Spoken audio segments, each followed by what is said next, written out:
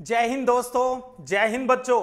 History की class में आपका स्वागत है और हम पढ़ रहे हैं आपका दूसरा चैप्टर, राजा, किसान और नगर, जिसके अंदर आरंभिक भारत के बारे में जानकारी है। वो हम प्राप्त करेंगे, कहानी से समझेंगे, उस टाइम क्या क्या होता होगा। आपको याद होगा 19वीं सदी में जब अंग्रेज़ भारत का इतिहास लिख रहे थे तो वो ये कह रहे थे भी 600 ईसा पूर्व से ही भारत का इतिहास है, प्राचीन इतिहास है, वो प्रारंभ होता है, क्योंकि इस टाइम से यहाँ के लिखित साक्ष्य है, वो उपलब्ध होते हैं। और साथ में अब तक हमने जान लिया है भी उस टाइम 16 महाजनपद आए और उनमें से मगध है, वो अत्यधिक शक्तिशाली हो गया। क्यों हो गया? इसके ऊपर भी हमने बात कर ली।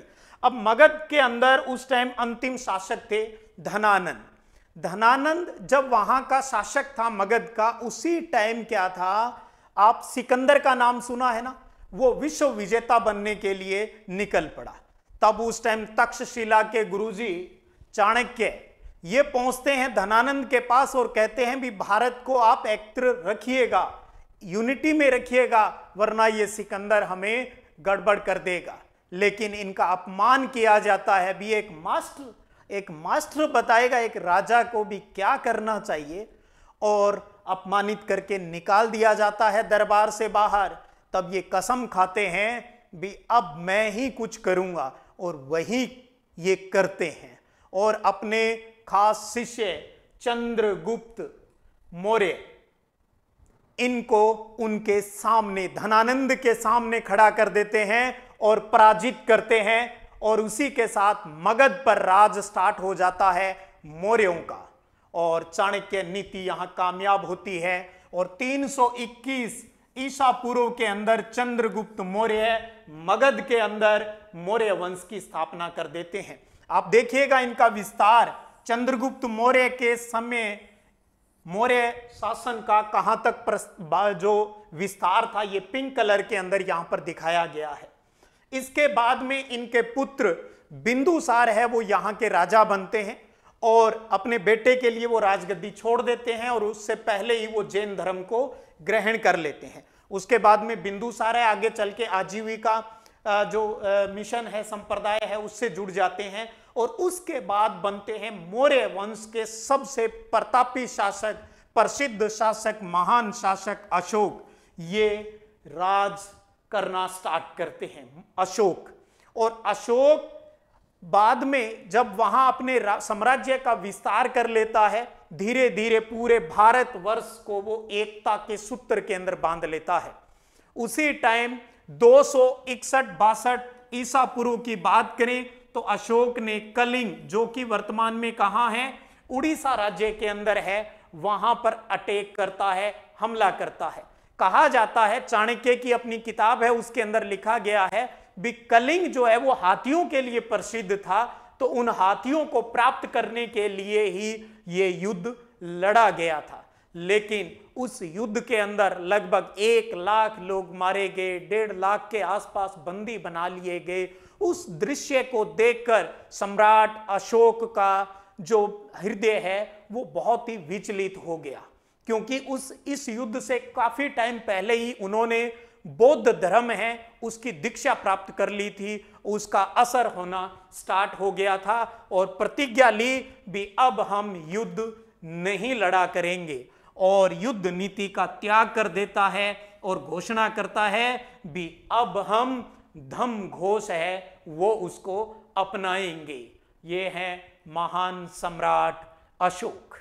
तो एक चीज़ आप देखिएगा, क्योंकि हम प्लस टू स्कूली सिलेबस पढ़ रहे हैं, इसलिए हम हमारे सिलेबस के अकॉर्डिंग ही जो बात है वो यहाँ पर कर रहे हैं। बहुत ज़्यादा विस्तार के अंदर है वो हम यहाँ नहीं जा रहे हैं।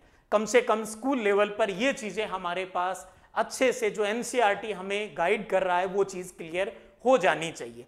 अब बात ये आती है भी हम ये बात कर रहे हैं भी अशोक ने ये किया, चंद्रगुप्त के समय ये हुआ, चाणक्य ने ये हुआ ये किया। इन सब की जानकारी हमें किससे प्राप्त होती है? एक बहुत प्यारा प्रश्न भी बनता है, भी मौर्य वंश की जानकारी के प्रमुख स्रोत कौन से हैं? दो प्रकार के सोर्सेस हमें मिलते हैं, एक तो साहित्यिक स्रोत और एक पुरा वस्तु। दोनों ही प्रकार से हमें जानकारी मिलती है। साहित्य के अंदर बात करें तो चंद्रगुप्त मौर्य के दरबार में एक यूनानी राजदूत एम्बेसडर रहता था, जिसका नाम था मैग्स्थनीज। और उस मैग्स्थनीज ने इंडिका पुस्तक है वो लिखी थी। एक तो उससे जानकारी मिलती है। दूसरा, उसके गुरु और उसके मंत्री चाणक्य, कौटिल्य, विष्णु गुप्त, तीन नाम और उनकी प्रसिद्ध पुस्तक है अर्थशास्त्र, जो कि राजनीतिक विषयों के ऊपर लिखी गई है। नाम से तो ऐसे लग रहा है जैसे इकोनॉमिक्स की किताब होगी, लेकिन ये राजनीतिक किताब है। इसमें शासन के बारे में बताया गया है। इससे भी हमें जानकारी मिलती है। तो एक इंडिका हो गई, किसने लिखी? मैग्स्थनीज ने लिखी। किसके दरबार में था? चंद्रगुप्त मौर्य के दरबार में था। कहाँ से आया था? यूनान से, ग्रीक से। देखिएगा, चंद्रगुप्त मौर्य के समकालीन था उस टाइम यूनान का शेल्युकस उसने अपनी बेटी का विवाह भी चंद्रगुप्त मौर्य से करवाया था और दहेज के अंदर मैग्सनीज को भेजा था, राजदूत बनाकर, भाई, ये अब आपकी सेवा करेगा। और कौटिल्य के अर्थशास्त्र से जानकारी होती है इसके साथ साथ जैन, बौद्ध और जो पौराणिक ग्रंथ है, संस्कृत वागम, वागम्य है, उनसे भी इनके शासन की जानकारी मिलती है। तो तीन प्रमुख साहित्यिक ग्रंथों से हमें जानकारी मिलती है। ये सोर्सेज हो गए अलग अलग उसके बाद में दो प्रमुख पूरा वस्तुएँ मिलती है। एक तो है अशोक के टाइम के जो अभिलेख, जो स्तंभों के ऊपर लिखे गए हैं उनसे, और दूसरी जानकारी मिलती है वहाँ की मूर्ति कला से जानकारी मिलती है। ये इंडिका है मैग्स्थनीज की और ये है कोटिल्य का अर्थशास्त्र। और आप देखेंगे इधर है शिल्प कला का एक अद्भुत उदाहरण, अशोक स्तंभ। अशोक स्तंभ वर्तमान में भारत का राज्य चिन्ह है, वो घोषित है। और आपको पता है इसमें चार शेर, चार धर्म चक्र है, वो दिखाए गए हैं। और चारों धर्म चक्रों के बीच में एक एक पशु दिखाया गया है, घोड़ा, शेर हाथी और बेल को दिखाया गया है। और ये हमारा राज्य चिन्ह है, जो हमारी शूरवीरता, शांति, प्रियता और एकता का प्रतीक है। तो देखिएगा उस टाइम का जो सिस्टम है, वो कितना स्ट्रोंग रहा होगा। तो ये बात हो गई भी हम जो वंश पढ़ने जा रहे हैं, उसकी जानकारी किन से प्राप्त हो रही है। अब बात करते हैं भी कलिंग युद्ध खत्म होने के बाद युद्ध नीति अशोक त्याग देता है। और कहता है भी अब हम धम की बात करेंगे। तो चलिए अब यह जान लेते हैं भी धम क्या है। यहाँ धर्म शब्द नहीं है, धम शब्द है, गौर कीजिएगा। बहुत प्यारा प्रश्न, भी अशोक ने धम का प्रचार किस प्रकार से किया? तो अशोक वो मौर्य वंश का पहला प्रतापी शासक था, जिसने अपने अधिकारियों के लिए और अपनी जनता के लिए स्तंभों के ऊपर अभिलेख है। उनके ऊपर धम का प्रचार करता है। और ये धम का प्रचार वो क्यों करता है? क्योंकि वो अपने साम्राज्य को अखंड बनाए रखना चाहता है भी जहाँ तक मेरा राज है, वहाँ तक सब कुछ एक जैसा चलना चाहिए और सारा सिस्टम बहुत ही प्यूरिफाई होना चाहिए। ये धम एक आचार संहिता है, एक नियमावली है, एक सिद्धांत है। वो भी बिल्कुल साधारण सी और यूनिवर्सल सार्वभौमिक, जिसे सबको मानना ही चाहिए, इस प्रकार की है। और ये उस टाइम की बात आज भी उतनी ही सत्य है, वो साबित है। तो इस, ये एक नियमावली है और इसमें चार प्रमुख बातों का उल्लेख है। एक तो बड़ों का आदर करना चाहिए। आज भी हमें यही चीज़ सिखाया जाता है और हम यही लागू करते हैं अपने जीवन में। सन्यासियों और ब्राह्मणों के प्रति उदारता रखनी चाहिए, उनकी भी रिस्पेक्ट करनी चाहिए। सेवकों और दासों के साथ भी उदार व्यवहार करना चाहिए, नौकरों के साथ भी अच्छा व्यवहार होना चाहिए और दूसरों के धर्मों और परंपराओं का आदर करना चाहिए। आप किसी भी धर्म को माने, ये अपनी स्वेच्छा है। यह हमारे भारतीय संविधान में भी उल्लेखित है भी हमारा देश धर्म निरपेक्ष है। ये देखिएगा, यहाँ पर भी यही बात है। भी धर्म निरपेक्ष होना चाहिए। आप अपने धर्म की बात करें, किसी दूसरे का कटाक्ष नहीं करें। हर किसी को अपने इच्छा से धर्म को मानने की स्वतंत्रता है, आज़ादी है, उस पर थोपना नहीं चाहिए। तो ये चार प्रमुख बातें अच्छे से बड़ों का आदर करें, सन्यासियों, ब्राह्मणों का आदर करें, सेवकों और दासों के साथ अच्छा व्यवहार करें और दूसरे धर्म की और दूसरों की जो परंपराएँ हैं, जो संप्रदाय चलते हैं, उनका रिस्पेक्ट करना चाहिए। और अशोक का यह मानना था भी अगर इन धम के सिद्धांतों को, नियमों को पालन किया जाता है, आज भी अगर कोई करता है तो लोगों का जीवन इस जन्म में तो अच्छा रहे रहेगा। अगला जब जन्म होगा, उसके अंदर भी वो अच्छा ही होगा उसके साथ। ये बातें यहाँ पर उल्लेखित की गई है। देखिएगा कितनी शानदार बात अशोक के टाइम की। आप देख पा रहे हो हम मौर्य वंश की इंपॉर्टेंट इंपॉर्टेंट जो बातें हैं, जो हमारे सिलेबस में हैं, उनको सब के बारे में चर्चा है, वो कर रहे हैं। अब देखिए, मौर्य साम्राज्य का प्रशासन। आपको याद होगा, अभी पीछे हमने जब चंद्रगुप्त मौर्य के जो टाइम पीरियड की बात की थी तो लगभग ये जो इलाका था, इतने तक चंद्रगुप्त मौर्य का राज रहा था। लेकिन जब अशोक वहाँ का राजा बनता है तो देखिए ये पूरा पिंक कलर कल कलर जो उप, भारतीय उपमहाद्वीप में दिखा रखा है, यहाँ तक मौर्य साम्राज्य का राज था। तो यानी पूरा भारत है, वो अखंड था, एकता के सूत्र में बंधा हुआ था। तो चलिए अब हम जानते हैं मौर्य वंश के टाइम मौर्य राजाओं के टाइम वहाँ की प्रशासनिक व्यवस्था एडमिनिस्ट्रेटिव का क्या सिस्टम था। तो चंद्रगुप्त मौर्य से अगर बात स्टार्ट करें तो उसने अपने पूरे साम्राज्य को पाँच प्रमुख राजनीतिक केंद्रों में बांट रखा था। एक तो थी उनकी राजधानी पाटलिपुत्र, जो कि अपनी वर्तमान की पटना हो गई, और चार प्रांतीय केंद्र थे। चार ऐसे मान लीजिए उसके स्टेट हो गए। वो कौन कौन से हैं? एक तक्षशिला। ये लीजिए तक्षशिला जो वर्तमान में अपने पाकिस्तान के अंदर। इधर आप बात करें उज्जैनी, ये लीजिए यहाँ पर इस जगह है उज्जैनी, तोसली, ये लीजिए ओडिशा साइड के अंदर तोसली और स्वर्णगिरी, नीचे कर्नाटक साइड में यहाँ पर ये स्वर्णगिरी। तो एक मुख्य उनकी राजधानी हो गई और चार प्रमुख जो बड़े प्रांत हो गए। अब हम ये कह रहे हैं भी इस पूरे इलाके के अंदर एक तरह का सिस्टम है, वो मौर्य काल के अंदर चलता था। भी अशोक तो यहाँ पूरे में फैल गया तो अब हम अशोक की बात यहाँ और अच्छे से साथ में समझ लें। अब इतिहासकार ये सोचते हैं, क्या ये संभव था उस टाइम भी एक जगह से इस पूरे उपमहाद्वीप को कंट्रोल किया जा सकता होगा क्या? आज तो कर ही रहे हैं सारा सिस्टम लेकिन ये उस टाइम के हिसाब से सोचते हैं। तो इनको लगता है भी शायद पूरे में तो नहीं, लेकिन जो इनका प्रशासनिक सिस्टम था, वो इसकी राजधानी और इन चार बड़े जो प्रमुख केंद्र है ना, यहाँ पर तो ज़रूर ही स्ट्रोंग है, वो रहा होगा। तो प्रशासनिक नियंत्रण साम्राज्य की राजधानी और उसके आसपास के प्रांतीय केंद्रों के ऊपर रहा होगा। अब बात करें अशोक के अभिलेखों की तो अभिलेख है वो, सभी है वो एक जैसे संदेश हैं, वो इनके ऊपर खुदे हुए हैं। और जो पश्चिम में पाकिस्तान से लेकर आंध्र प्रदेश, उड़ीसा और उत्तराखंड तक हर स्थान के ऊपर मिले हैं। अभी अपने पहले मानचित्र के ऊपर देख लेते हैं इनके अभिलेख, जो हमारे लिए वैसे भी इंपॉर्टेंट है। अशोक के टाइम के अभिलेख। अभी हमने क्या देखा? भी इस पूरे भारत के ऊपर उस टाइम वो, उसका राज था।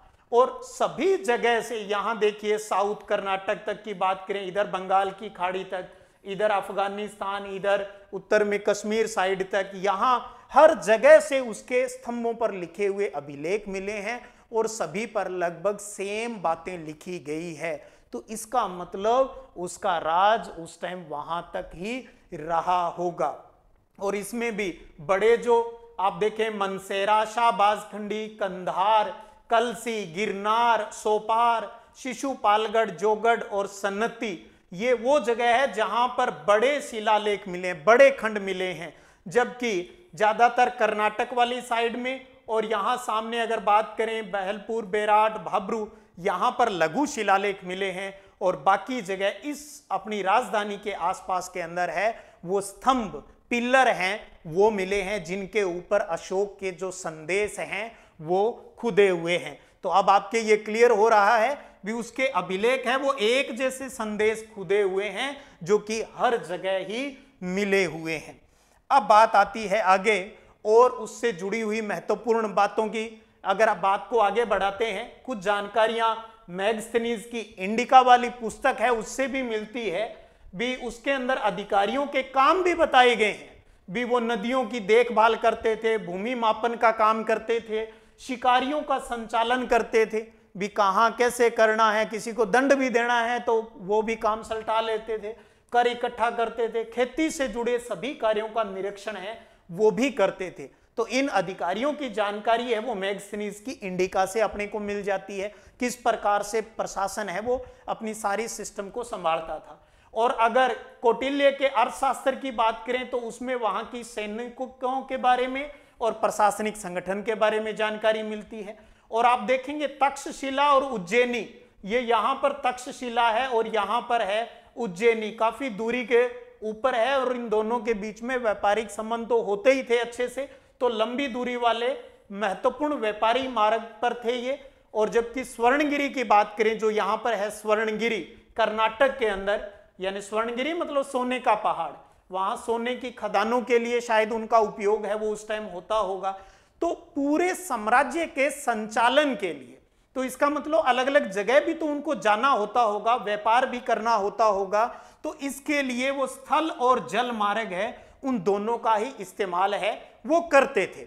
और राजधानी से जो प्रांत है, चार प्रांत, वहाँ तक जाने के लिए आपको पता है उस टाइम कौन सा हेलीकॉप्टर था या कोई ट्रेन थी, कई सप्ताह और महीने महीने लग जाते थे। आज यहाँ विश्राम, आज वहाँ विश्राम करते थे। तो इसका मतलब यात्रा है, लंबी है तो इसका मतलब खान पान की व्यवस्था भी तो करनी होती होगी और साथ में डर भी तो रहता होगा, कोई गड़बड़ नहीं कर दे तो सुरक्षा भी करनी पड़ती होगी, सैनिक भी साथ में रखने पड़ते थे। तो एक बात तो यहाँ स्पष्ट होती है भी सेना है, वो उनकी सुरक्षा का उस टाइम प्रमुख माध्यम है, वो भी तो रही होगी उस टाइम। तो इसका मतलब अब इस प्रशासनिक व्यवस्था में वहाँ की आर्मी के बारे में भी सैन्य शक्ति के बारे में भी तो जानना होगा। अगर सिर्फ़ प्रशासनिक बड़े प्रश्न के रूप में पूछते हैं तो ये सैन्य प्रशासन भी आपको यही साथ में लिखना है। और कई बार अलग से तीन चार दो तीन नंबरों के अंदर अलग से भी पूछ लिया जाता है। तो अब हम इसको अलग से पॉइंट बनाकर, क्योंकि हम हर चीज़ को नोट्स फॉर्म के अंदर आपके स्कूली सिलेबस के अकॉर्डिंग चल रहे हैं और एक एक बात को समझने की कोशिश कर रहे हैं। फ़र्स्ट टाइम में सिलेबस कर रहे हैं तो हर बात को समझना बहुत ज़रूरी है। स्टार्टिंग में ही शॉर्टकट पे आगे तो फिर तो सारा गड़बड़ ही हो जाएगा। पहले पूरी स्टोरी तो अच्छे से समझे, बाद में रिवीजन भी होगा प्रैक्टिस भी होगी, सब कुछ और आपको पता भी नहीं चल पाएगा। आपको ये चीज़ें कब समझ में आ गई और याद हो गई। याद करना नहीं होता, याद अपने आप होते हैं, हर चीज़ बस बात करनी होती है, बस बात ही तो कर रहे हैं। और इसमें ईमानदारी होना बहुत ज़रूरी है। तो सैन्य प्रशासन की गतिविधियों की बात करें तो यहाँ पर भी मैगस्थनीस भाई साहब का ज़िक्र आ रहा है। इसका मतलब उनकी जो पुस्तक है, इंडिका, उससे हमें जानकारी मिलती है। भी सैनिक गतिविधियों के संचालन के लिए एक तो बड़ी समिति होती थी और छह उप समितियाँ होती थी। एक बड़ी समिति और छह उप समितियाँ होती थी और उन सभी उप समितियों के काम जो यहाँ पर एक, दो, तीन नंबर जो लगा रखे हैं ये हर एक उप समिति का नाम है। एक है नौसेना का संचालन करती थी। नेवी वाला यानी जल मार्गों से संबंधित हो गई। दूसरी यातायात और खान पान की व्यवस्था देखती थी। तीसरी है वो पैदल सैनिकों की। अपनी आर्मी हो गई, थल सेना हो गई। चौथी है वो अश्वारोही, घोड़ों के बारे में, घोड़ों वाली जो आर्मी हो गई। पांचवी हो गई, रथ पर चलने वाले रथारोहियों का संचालन करने की ज़िम्मेदारी हो गई। और छठी थी हाथियों का संचालन करने की। तो सैनिकों के लिए ये छह कमेटियाँ एक नौ सेन, सेना की व्यवस्था देखती थी एक यातायात और खान पान का एक पैदल सैनिकों के लिए व्यवस्था एक घोड़ों वाले सैनिकों के लिए व्यवस्था एक रथारोहियों के लिए संचालन की व्यवस्था देखती थी और एक हाथियों के लिए। ये छह होगी उसके बाद में अपने सिलेबस के अकॉर्डिंग एक पर महत्वपूर्ण क्योंकि इसका काम बड़ा महत्वपूर्ण है दूसरी उप समिति का। इसका काम था उपकरणों के ढोने के लिए, बैलगाड़ियों की व्यवस्था करना और साथ में सैनिकों के लिए भोजन और जानवरों के लिए चारे की व्यवस्था करना। सैनिकों की देखभाल के लिए सेवकों और शिल्पकारों की भी नियुक्ति करना। ये सारा काम इस दूसरी कमेटी का था, क्योंकि भैया, खाली पेट तो नहीं रहा जा सकता तो इसलिए दूसरी का भी अपने आप में एक महत्वपूर्ण रोल हो जाता है। तो दूसरी उपसमिति क्या क्या काम करती है, उसकी बात भी हो जाती है। तो ये वहाँ का हो गया अपना सैन्य प्रशासन की बात। अब बात करें भी मौर्य साम्राज्य कितना महत्वपूर्ण था उस टाइम सिर्फ़ सामान्य जानकारी जो अब तक पढ़ा है, उसका सार लिखा है यहाँ पर बस। तो हमें पता है 19वीं सदी के अंदर अंग्रेज़ों ने जब भारत का इतिहास, आरंभिक इतिहास लिखना स्टार्ट किया तो वो यही मौर्य साम्राज्य से ही स्टार्ट होता है। और उन्होंने कहा यह बहुत ही मुख्य काल माना उन्होंने, क्योंकि यहाँ जो मूर्तियाँ मिली है, उसके अद्भुत कला है, जो अन्य में नहीं मिली है यहाँ जो अभिलेख मिले हैं, वो दूसरे शासकों से इस राजवंश को अलग करता है और यह भी कहता है कि अशोक एक वास्तव में एक शक्तिशाली और बहुत ही मेहनती राजा उस टाइम था। बीसवीं सदी के अंदर राष्ट्रवादी नेताओं ने तो अशोक को अपना प्रेरणा स्रोत माना है। हम खुद समझ सकते हैं भी अशोक कितना ग्रेट रहा है। और इस प्रकार हम देखें, चंद्रगुप्त मौर्य से लेकर और अंतिम शासक ब्रिदर तक लगभग डेढ़ सौ साल तक ही, क्योंकि एक सौ पिचासी ईसा पूर्व के अंदर मौर्य साम्राज्य का पतन हो जाता है। 321 से लेकर एक सौ तक का टाइम रहता है और इस उप महाद्वीप के लंबे इतिहास में ये कोई बहुत बड़ा टाइम पीरियड है, वो नहीं माना जाता है। या और मौर्य साम्राज्य है, ये सभी क्षेत्रों में शायद नहीं फैल पाया, जितना और ज़्यादा फैलना चाहिए था, क्योंकि अशोक के बाद के जो उसके उत्तराधिकारी थे, उनमें वो गट्स नहीं थे, वो बहुत ही कमज़ोर रहे थे और आते आते दूसरी शताब्दी ईसा पूर्व 200 बीसी तक पहुँच गए अब अपने। 200 बीसी तक आते आते अब ये साम्राज्य है, उसका विघटन स्टार्ट हो जाता है और ये कई भागों में टूट जाता है। अलग अलग जगह नए नए शासक और रजवाड़े हैं, वो स्थापित हो जाते हैं। तो इस प्रकार से हमने उत्तरी भारत के अंदर मौर्यों के बारे में प्रमुख बातें सारी और वहाँ की प्रशासनिक व्यवस्था को अच्छे से जान लिया है। और अब बात करते हैं मौर्यों के पतन के बाद क्या होता है। तो उत्तर में कौन आया और दक्षिण में कौन आया, अब आपको आपकी फ़र्स्ट क्लास भी याद आ जाएगी। इसीलिए वहाँ पहले बताया था भी जब हम सीक्वेंस से पढ़ें तो आपको सारी बातें क्लियर हो जाए। तो दक्षिण के राजा और सरदार। तो दक्षिणी भारत के अंदर क्या होता है उस टाइम चोल, चेर और पांड्या, ये सरदारियों हैं, उनका उदय होता है।